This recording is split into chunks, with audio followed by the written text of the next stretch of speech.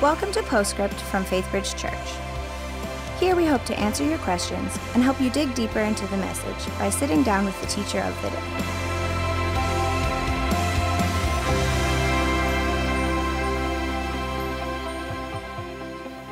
Hi, and welcome to Postscript. I'm Luann Riley, Grow Group Director, and I'm here with Bible teacher Ben Stuart, who is joining us again.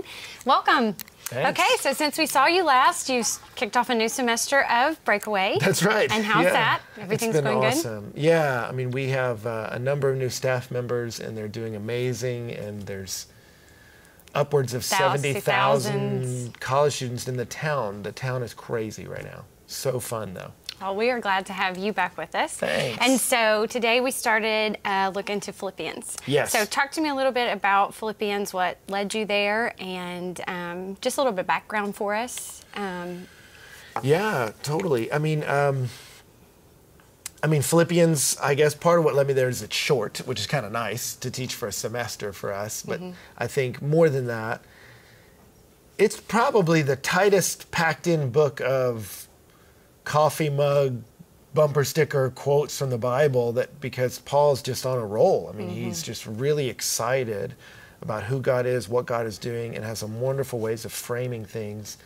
about the Christian life. And so I really wanted to get to those things and probably premier of which is what we brought out today. You know, Right. there are letters that Paul wrote where he's mad, like he wrote to Mm-hmm. the Galatians and said, "You foolish Galatians, who's bewitched you?" He's frustrated with them. You know, to the Corinthians, they were a mess. You know, so he's like, "Stop getting drunk at communion." You know, and so much of Corinth is like, "Oh my gosh, trying to get these people to stay together." Whereas at Philippi, their home team, man. I mean, hmm. they. He'll say it later that I came to you guys, you embraced Jesus, and I didn't even get to the next town before you were right there with me, supporting me. And so it's fun to get a window into a community that's killing it, that's doing great, that really loves each other, is really moving forward. And I, I wanted to focus on that because, like we talked about today, that's the drive of the human heart. Mm-hmm. We want to be connected and we want a cause that's bigger than us. And Paul has that, and the Philippians have that. And they have the ultimate one, the one we need.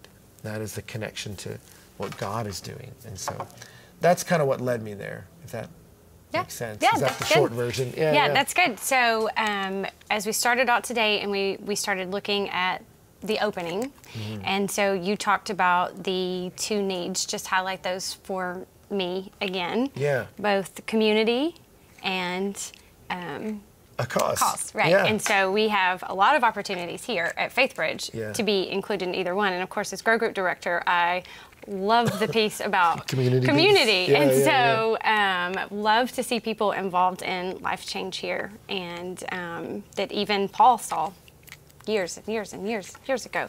Yeah. Um, so yeah, so those two things, and then um, so then we'll be moving through Philippians as Yeah. you come back to see us for the next couple of weeks. So we're looking That's forward to see what you um, bring back for us then. Yeah, so feel free to read ahead. It's not a long book. I mean, it'll take you roughly 12 minutes to read it out loud, you know, which is the slowest form of reading. So you can read Philippians pretty easily and uh, just start to get your head around how a healthy community of God talks to each other.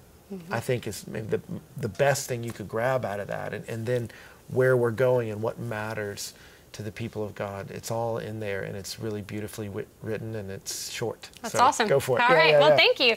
Okay, and we'll see you back here next week. and thank good. you for your questions and for joining us today for Postscript. And we'll see you back here next week as well. Thanks for joining us for Postscript. Help us keep the podcast interactive by submitting your questions during the morning services. Learn more at faithbridge.org forward slash postscript.